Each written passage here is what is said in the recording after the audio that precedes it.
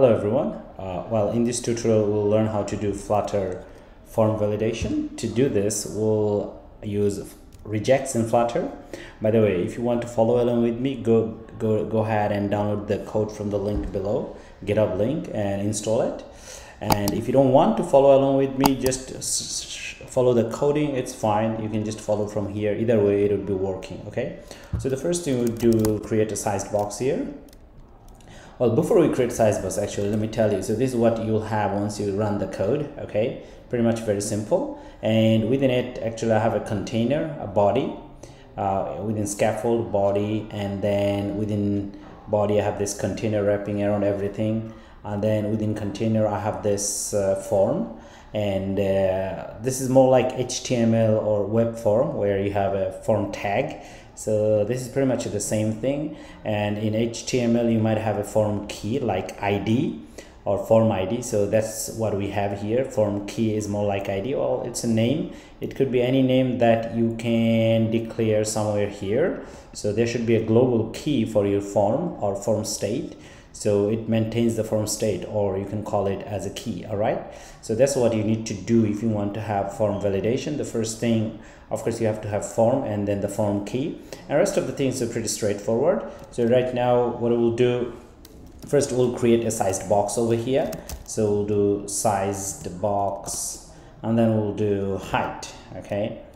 Height uh, height say 0 0.05 okay well because we want to put things right uh, a little bit below it okay so there should be a distance.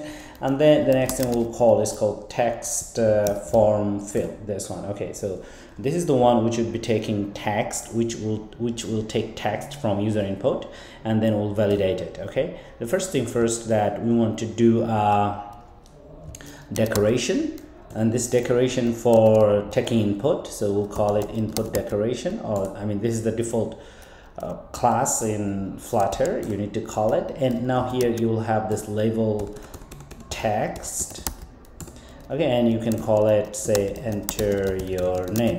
Okay so what we'll do we'll save it and see that uh, it's right there. Okay save it and update it. It's right there. Okay so that's our form field. And this decoration basically does a lot of other things as you can see from here but basically right now we'll just use label text okay? And within form field there is another property that's called validator. So that's what we'll call now and it takes an anonymous function with a value. So we'll pass a random variable as value okay? I mean a random name as value i would say.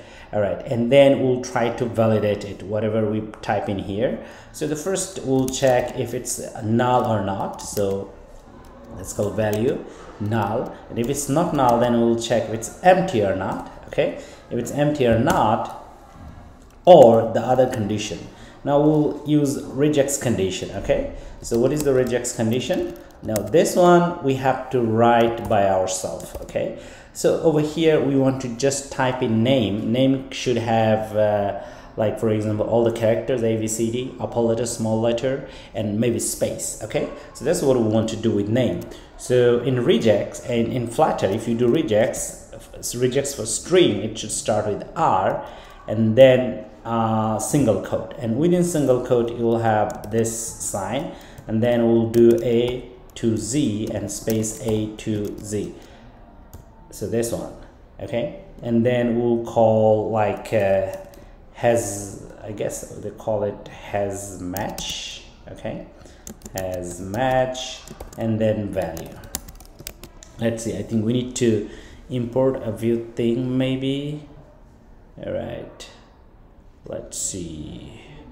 Rex not rex it's regex I think. Now let's see okay now it's working okay? Okay if it has value and then if it doesn't match the value we'll do certain thing okay? Now let me walk you through again what's happening here. First we check the value is null or not? If it's null not then we also at the same time check it is empty or not. And after that we put our text whatever we type in here within this regex uh, how to say regex conditional statement i would say. Okay now here is in flutter in general you will start with r. That means raw string and then whatever the condition it stays between the single quote and now this means beginning of a string okay? Of course as we have beginning of a string we have to end the string. So to end it you you need to use plus dollar sign okay? And now within this parenthesis this brackets whatever you put they should match. So what we are trying to match a to z that's small letter and these are the capital letters. So if it doesn't match that's why we have this negation over here then we'll return. And returning after returning we'll say please enter uh, correct correct name. Okay? That's what we would say. Else we'll return null that means uh, everything is correct as we expected. So that's the validation for name field over here okay? So hopefully it makes sense again. So whatever the value user types in it's taken into here. Then we do a few checks whether it's empty or not. If it's empty definitely we need to write our name again. Or if you have numbers or special characters then it will give you this warning that please write again okay? All right. So that was for the name field. Now what do we do? We don't want to write this thing again and again. What do we do? Would copy them okay? So let's go ahead and copy it. It would make our life easy and save a lot of time okay? Now the same for another field. Okay now let's go ahead and run it and we see something beautiful over here. But of course we need to change the level this level meaning. I mean uh, this level text. So the second one say enter your phone number okay? Or enter your number all right? And please enter correct phone number okay? And the second one is enter your email. Okay please enter correct email. So this one. Okay now let's save it. And they change right? But now of course uh, the regex is uh, this expression is correct only for the first one. That's for name. Now this is for phone number okay? So we need to write the regex for phone number so what do we do? We need to change all of it. So what do we'll do we'll just delete this section over here. Now we'll start again. So now now phone number could have many different variation based on country but a lot of phone numbers they have a plus sign at the beginning okay? At least when you see it in a form or in a name card there's a plus sign okay? So that's why we have this plus sign. And then you have this star. That star means whatever happens whatever comes after it take it okay? So now in a lot of time you will have this first bracket uh, within phone number at least like say three digits. So there is they're wrapped around the bracket uh, especially those are US numbers I would say all right? Yeah. And then what we do we would take 0 to 1 any any number of them. It could be 0 it could be 1 all right so but now here it's saying that sorry this zero one is more like this bracket. It may appear zero times or one time. That's what it means. It could be zero times or one time not more than that. So either there is a bracket or no bracket.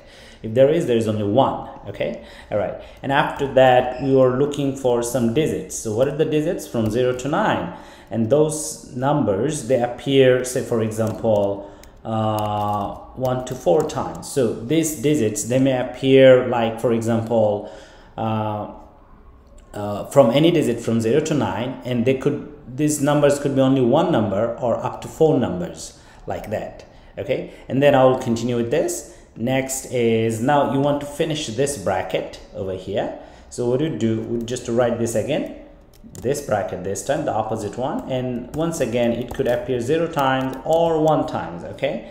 And after that we will go ahead with the rest of the numbers. So how to do that? So there might be a dash in your number. A lot of phone numbers has a dash. So that's why we have this dash and after that you might have any any any character okay? As for any non-white space character like uh, say one two three four even i think it could also stand for other characters but no white space okay? That's what it means. And then we, we might also have a dot okay? And then other 0 to 9 so that's the basic phone number format that I'm using over here. But you could use uh, like if you're in China or in India the phone number format could be very different. So for your particular case you need to have that kind of format uh, regex expression based on your phone number or your country's phone number okay? So this is very different for pretty much every country I would say. It could be different all right now we would go for this uh, email address. Now once again we'll delete all of it.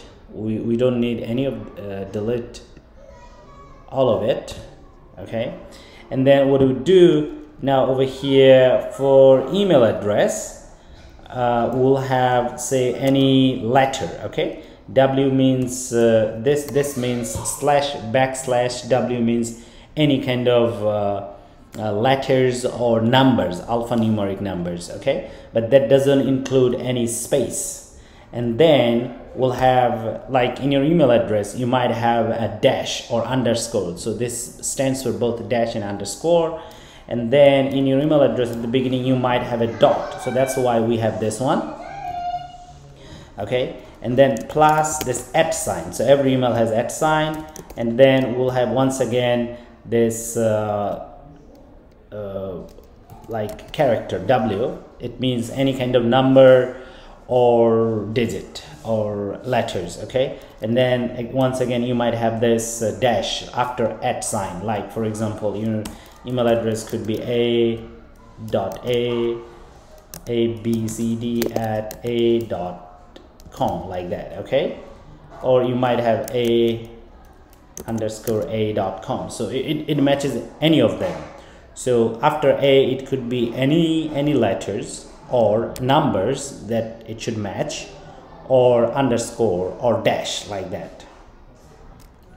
Okay? And then what we'll do we'll wrap it we'll finish it here and then so I'll go ahead and uh, finish this uh, expressions.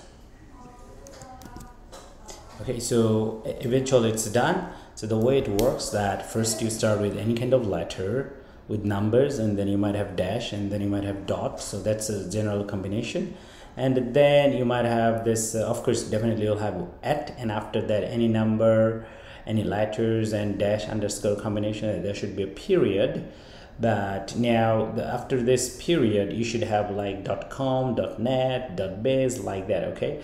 So i think we can skip this one. I'm not sure why they, they some people they use this dash because in general there is no under underscore com or underscore like this okay but uh, some of the expressions that did use it so i'm not sure why but anyway so any expressions so any letters and uh, or it, it could be any numbers as well because this w stands for actually numbers as well.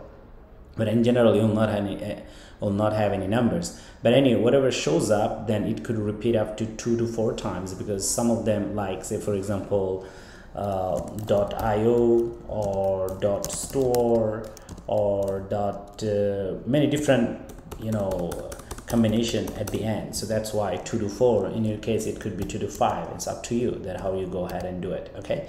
All right so we are done with this uh, uh, combination but now we need to find a way to submit this form. Um, that's pretty easy though but before we do that we need to create a submit button.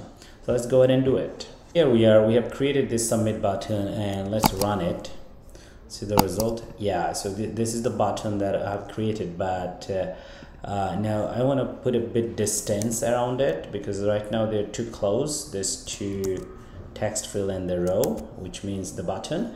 Okay now let's go ahead and see the button. The button is pretty simple because I used two elements next to each other so that's why I have used a row within row I have this this word sign up and then this neumorphic design button but you can skip that. You can just have any kind of button or elevated button and then you have this on pressed event. And within on pressed event something interesting happens uh, like the uh, form submission happens. Now if the validation is done then you can go ahead and do or show other things or submit to server like that okay? So here once you click on the button if the condition is true then it shows you message. Otherwise it will show here these errors like as we saw all right? So now we can go ahead and do the test.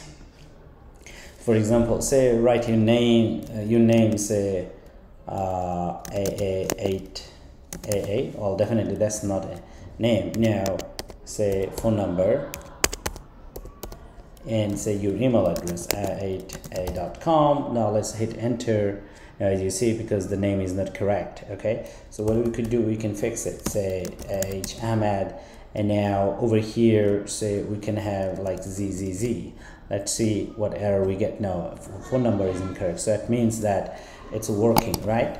Now for example here if you have this uh, um, hyphen uh, so this question mark so it won't work right so now it means our validation is working. So now once the validation is done it falls back over here. For now we'll send a message to our user that form is submitting. Otherwise in general you submit it to the server. And in next next tutorial we'll see how to submit it to the server. But now let's go ahead and click enter button. Now it will say that uh, submitting the form okay? So the most important thing about this uh, text form field that you'll have a text form field widget and then your text label and then you'll have a validator.